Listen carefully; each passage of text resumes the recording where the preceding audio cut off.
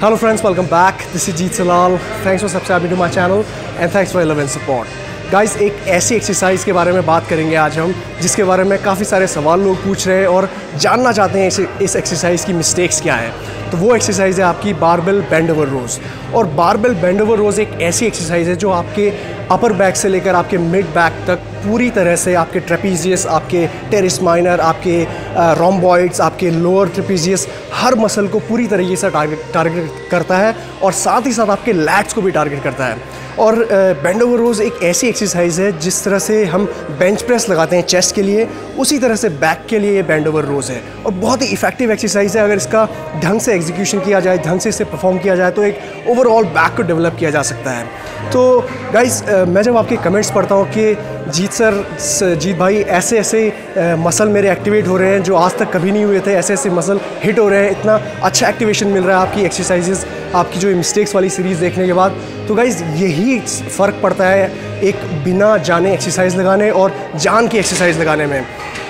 जब जो भी बॉडी बिल्डिंग कर रहा है, जो भी एक्सरसाइज कर रहा है इंसान, वो उसके नहीं ग्रो होने के मसल के ये बहुत बड़ा रीज़न होता है कि एक सही तरीके से एक्सरसाइज का ना लगाना। आप दुनिया के सारे सप्लीमेंट्स ले सकते हैं, दुनिया का हर बेस्ट फ़ूड ले सकते हैं, कुछ भी ले सकते हैं ट्रेनिंग प्रोग्राम ले सकते हैं, कहीं से भी ख़रीदा हुआ लेकिन आपको सही रिजल्ट्स तब तक नहीं मिलेंगे जब तक आप एक सही फॉर्म में, सही एक्टिवेशन के साथ, बिल्कुल प्रॉपर स्पोर्ट्स साइंस नॉलेज के साथ एक्सरसाइज नहीं लगाएँगे। और मेरे इस चैनल का जो मकसद है वही आपको यही चीज़ डिटेल सिखाने का है, क्योंकि ये जो डिटेल्स मैं आपको बताता हूँ अपने वीडियोज़ में, ये उन लोगों को मिलती है जो प्राइवेट ट्रेनिंग्स लेते हैं पर्सनल ट्रेनिंग लेते हैं बॉडी बिल्डिंग कोच हायर करते हैं। वो आप लोगों को करने की कोई ज़रूरत नहीं है। बस आप मेरे चैनल को फॉलो कीजिए और सारे वीडियोज़ को देखते रहिए, बिल्कुल ध्यान से, बिल्कुल मन लगा के। आपको कोई प्रॉब्लम नहीं होगी ये सब सीखने में क्योंकि मैं बहुत डिटेल में ये वीडियोज़ बना रहा हूँ।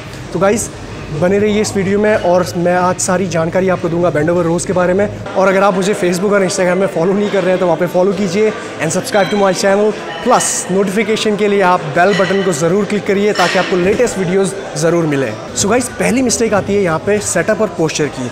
और ये सेटअप और पोस्चर आज मैं थोड़ा डिटेल में समझाऊँ क्योंकि इस एक्सरसाइज में जो ज़्यादातर गलतियाँ करते हैं लोग मतलब 60 टू 70 परसेंट जो गलतियाँ होती हैं, वो पोस्चर गलत होने की वजह से सेटअप गलत होने की वजह से होती है।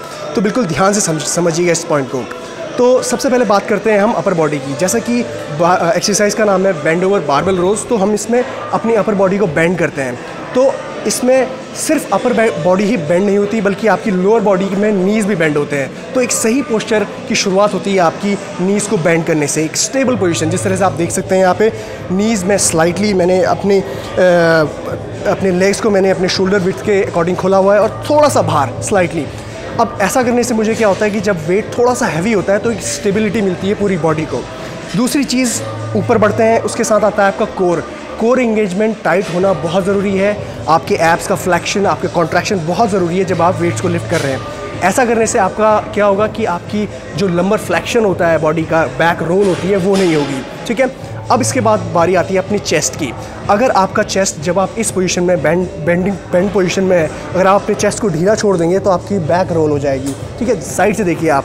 अगर आपका चेस्ट अप नहीं है तो आपकी बैक रोल हो जाएगी। ठीक है? इसलिए चेस्ट अप करिए नी स्लाइटली बेंड आपकी हिप्स आउट ठीक है? तो ये करेक्ट पोस्चर है बेंड ओवर बारबेल रोज लगाने का स्टार्टिंग में।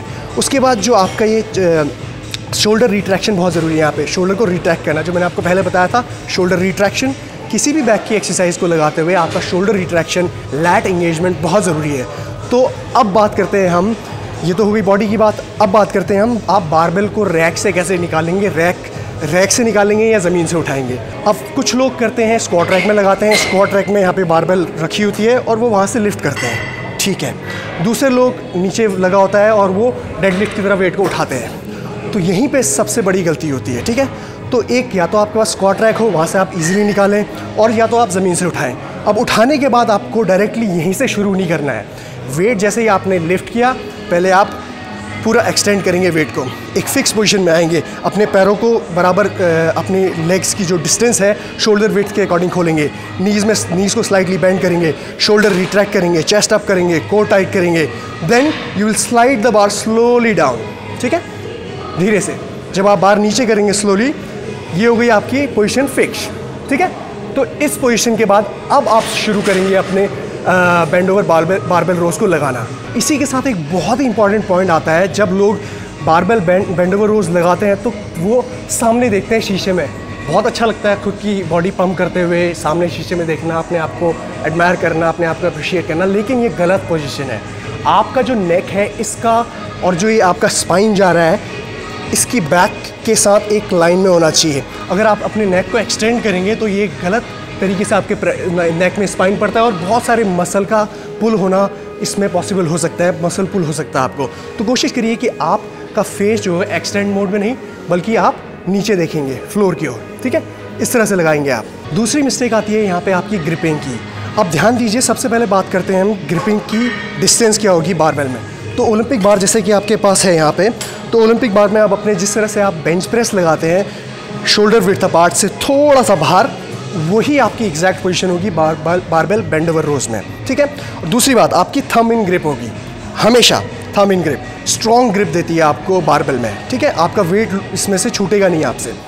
दूसरी चीज़ आती है आपकी ग्रिपिंग में कुछ लोग कहते हैं कि ये प्रोनेटेड ग्रिप नहीं सुपिनेटेड ग्रिप में लगाते हैं हम बारबल बेंड ओवर रोज़ को।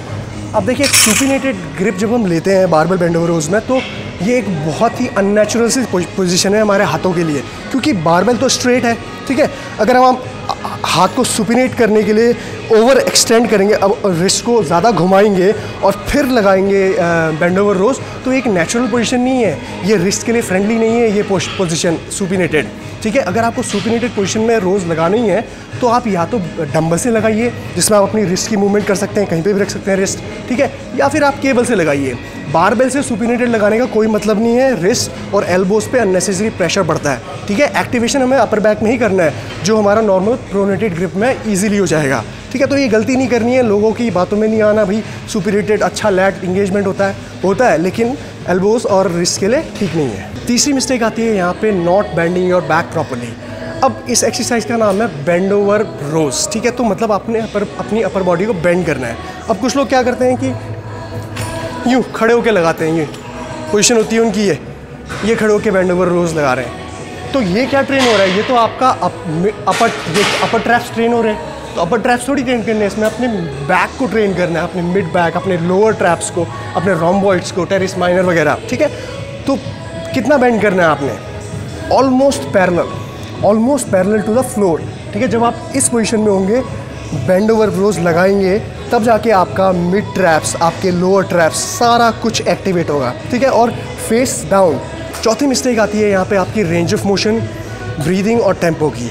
तो रेंज ऑफ़ मोशन में बहुत सारे लोग गलती करते हैं और क्या करते हैं कि सबसे पहली बात जो मैंने इससे पहले बताया कि पूरी तरीके से बैंड नहीं करते हैं और भाई ज़्यादा वेट उठेगा, पूरी तरीके से बैंड अगर कर देंगे तो ज़्यादा वेट कहाँ उठा पाएँगे? तो इसीलिए पूरी तरह से बैंड नहीं करते हैं और रेंज ऑफ़ मोशन हो जाता है गड़बड़। अब देखिए सही रेंज ऑफ़ मोशन क्या है? तो आपने बैंड किया ऑलमोस्ट पैरल बैंड की अपनी नीज़ को। यहाँ से आप शुरू करेंगे stretch chest up and contract ठीक है? एंड कॉन्ट्रैक्ट तो ये बार जो है आपका, आपके बेली बटन नाभि में टच होने की कोशिश करनी है टच कराने की आपको, और स्ट्रेच करना है अपने लैग्स अपने मिड बैक अपने अपर बैक को, ठीक है? And contract and contract and contract और ये जो कॉन्ट्रैक्शन है, इस पॉज को, इसको पॉज करना है आपने, ताकि आप पूरी तरीके से कॉन्ट्रैक्शन फील कर पाए। राइट अब बात आती है आपने ब्रीदिंग की। तो जब आप नीचे जाएँगे, जब आप सेंट्रिक ओवरलोड नीचे ले जाएँगे वेट को, तब आपको सांस को लेना है। एंड जब आप कॉन्ट्रैक्ट करेंगे, तब आप सांस छोड़ेंगे।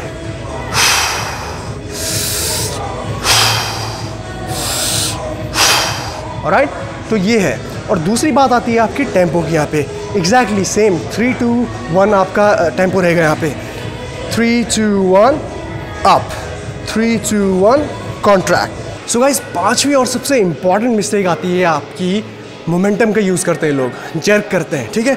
अब क्या करते हैं लोग? ये भाई बार बार उठाया और यूँ यूँ, ये ये। तो ये आप अपने ईगो को सेटिस्फाई कर रहे हैं बस यहाँ पे। जी भर के जितना वेट उठाना, उठा लीजिए आप जर्क करके, कोई बेनिफिट नहीं होगा। एल्बोज़ इंजरी होने की chances wrist injury shoulder injury और न जाने क्या क्या ठीक है? तो एक सही मोमेंटम क्या है? विदाउट जर्क कोई जर्क नहीं लगाना आपने, ठीक है?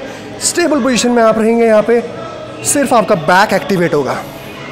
Down pause stretch pause stretch और दूसरी बात यहाँ पे ध्यान देनी है कि लोग, कुछ लोग सोचते हैं कि भाई पैरेलल पोजीशन से शुरू किया जाए, लेकिन शुरू के तीन चार रैप लगाते हैं पैरेलल एंड जैसे जैसे वेट टफ होने लगता है तो अपनी बैक सीधी करने लगते हैं। यूँ फिर एंड पोजिशन आखिरी के दो तीन रैप ऐसे चार पाँच रैप ऐसे लगते होंगे। तो क्या फ़ायदा हुआ ऐसी एक्सरसाइज लगाने का? जो पूरा सेट है आपका, सारे के सारे रैप्स आपके एग्जैक्टली सेम मैनर में होने चाहिए।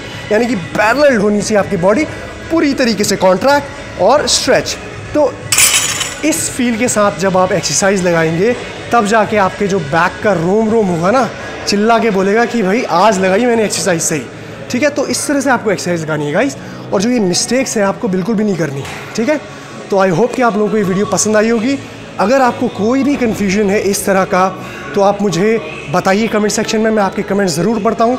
हालाँकि टाइम नहीं हो पाता है मुझे कि उन कमेंट्स का रिस्पॉन्ड करना या तुरंत उनका जवाब देना. तो परेशान मत होइए, मैं आपके सारे कमेंट्स पढ़ रहा हूँ, ठीक है? और अगर आप मुझे फेसबुक और इंस्टाग्राम में फॉलो नहीं कर रहे हैं तो आप फॉलो कीजिए। बहुत ही इंटरेस्टिंग स्टफ़ आने वाला है आप लोगों के लिए नया। और सब्सक्राइब अगर कर रहे हैं तो जो बेल बटन होता है नोटिफिकेशन वाला, वो ज़रूर क्लिक करिए, ठीक है? So guys take care Jeet Salal sign off